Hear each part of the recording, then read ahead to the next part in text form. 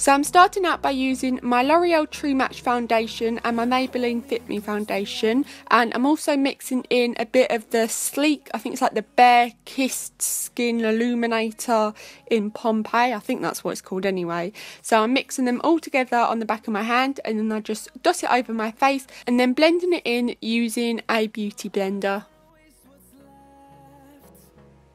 For concealer, I'm using the Rimmel Wake Me Up concealer and I'm just applying this underneath my eyes and up onto my cheekbones and cheeks, down the centre of my face and also on my eyelids. And then blending it in again using my damp beauty blender. And excuse my kind of greasy hair in this video, I'm not actually sure why it looks so greasy because I washed it the morning I filmed this video but I think I might have not washed out the conditioner properly or I applied too much kind of Moroccan oil after.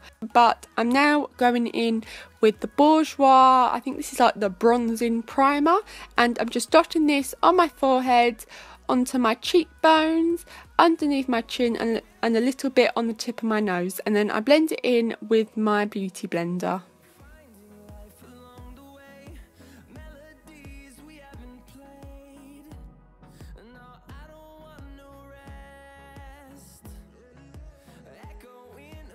I'm then going in with a Max Factor Cream Blush and I'm just applying this to the apples of my cheek and then blending it in again with my beauty blender. I'm then going in with the Makeup Revolution highlighter and I apply this to the tops of my cheekbones, on the tip of my nose, on the bridge of my nose and also on my cupid's bow.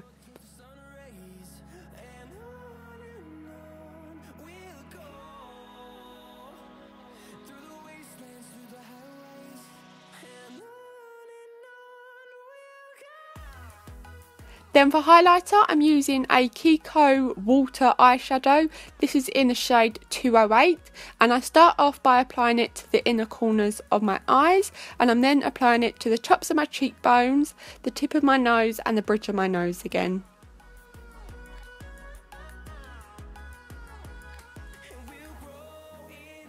For bronzer, I'm using the Makeup Revolution Ultra Contour Kit and I'll start out by taking the Cool Tone Brown shade and applying this underneath my cheekbones and then I take a warmer brown shade and I apply this to my forehead and also onto my cheeks and chin a little bit.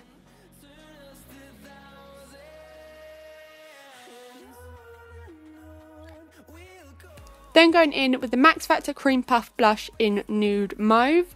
I'm then using a dark brown shade from my eBay makeup palette and I know this isn't drugstore but it's kind of at the drugstore price so it doesn't really matter but I'm just applying this underneath my lower lash line and also on to my top lash line.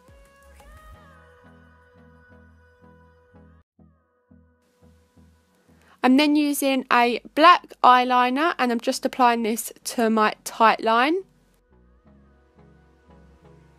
And then I'm curling my lashes and applying mascara and I'm using the Max Factor False Lash Effect Mascara.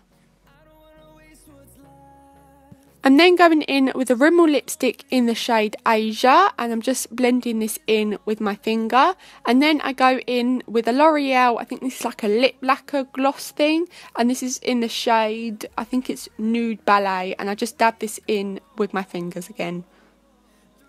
So I hope you enjoyed this video and I hope to see you in my next one. Bye!